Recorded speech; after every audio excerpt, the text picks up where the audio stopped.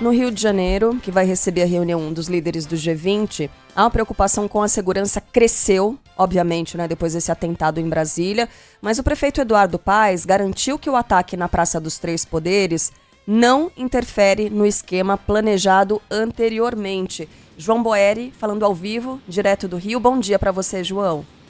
Oi, Carla. Muito bom dia a você, a todos os nossos ouvintes. Pois é, declaração dada então pelo prefeito do Rio, Eduardo Paes, principalmente na abertura ontem do Urban 20, que é um dos grupos, um dos 13 grupos de engajamento do G20 Social, uma iniciativa inédita da presidência rotativa brasileira na, no G20. Prefeito do Rio, Eduardo Paes classificou esse episódio em Brasília como um ato isolado, disse que não interfere, pelo menos no esquema de segurança aqui na capital fluminense, um esquema bem reforçado, inclusive com a aplicação da lei da, da garantia da lei da ordem, pelo menos até o dia 21, 9 mil agentes participam da GLO. Aqui, por exemplo, Polícia Militar, são mais de 17 mil policiais, não só Polícia Militar, na verdade, Polícia Civil, Secretaria de Administração Penitenciária, no caso, os policiais penais, e não só também o prefeito do Rio, Eduardo Paes, deu declaração nesse sentido. Ontem, na abertura do Urban 20, o ministro das cidades, Jader Filho, classificou esse episódio em Brasília como um ato de terrorismo. Disse que isso, inclusive, não é aceitável. Pois bem, ontem pela manhã a gente também teve um episódio de violência aqui na capital fluminense relacionada e muito ao G20. O carro da comitiva do ministro da Secretaria-Geral da Presidência da República foi roubado na Rua do Riachuelo, que é uma rua que não fica muito distante, por exemplo, daqui da, do, do, do Mauá. Nesse momento, a gente está no Armazém da Utopia, que fica na zona portuária aqui do Rio de Janeiro, e essa rua do Riachuelo fica na, na, na zona central aqui da capital fluminense. Então, esse carro foi roubado por criminosos e levado para dentro do Complexo da Maré, na zona norte do Rio de Janeiro, onde foi recuperado pela Polícia Militar. Houve, inclusive, confronto com criminosos, duas pessoas acabaram presas. A gente conversou com o secretário de Estado de Segurança Pública aqui do Rio de Janeiro, o pessoal Victor Santos, classificou esse episódio como um fato isolado também, a gente tem a palavra dele. Mesmo antes da entrada do Ministério da Defesa através da GLO, o planejamento foi muito rigoroso no que diz respeito à criticidade do evento.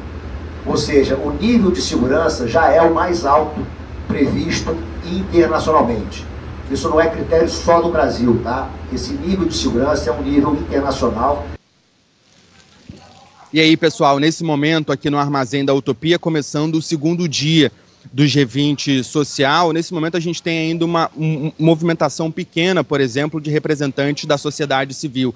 As agendas de hoje começam 9 horas da manhã, e a gente tem nesse segundo dia de G20 social pelo menos três plenárias importantes que vão discutir os três principais eixos que foram escolhidos pela presidência rotativa brasileira para esse ano de 2024, principalmente relacionado à redução das desigualdades, combate à fome.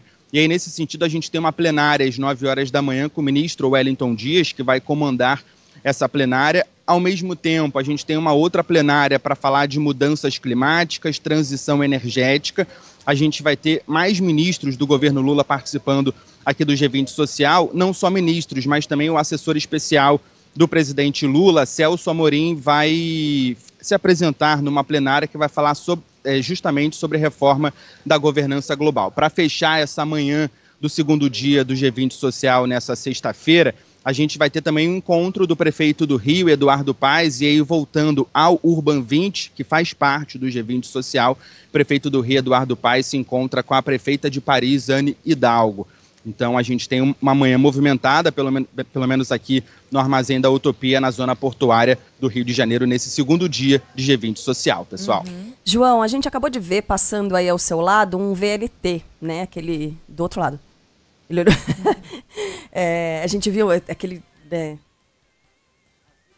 Peraí que eu não tô te ouvindo. Você desligou o microfone? Não? Hum, perdemos o, o ah, som? É, perdemos o som. Do... Agora ah, voltou, voltou, voltou. Boa, voltou. João. É. Aqui, por exemplo, na zona portuária do Rio, Carla, a gente passa a VLT, a gente tem algumas estações.